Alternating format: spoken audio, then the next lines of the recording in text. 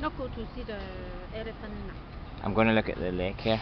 So this is Fir Lake, and this lake is, um, believe it or not, is in the middle of a city again. Um, this is in Guilin, this lake, Fir Lake.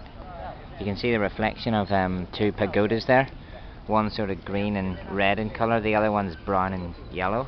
And the pagodas towering over this lake in the middle of the city. See other tourists about taking photos and en enjoying the pleasant stroll on a Saturday afternoon here um, in this central lake in the middle of a city in Guilin in China. Not a bad place to um, relax and chill out.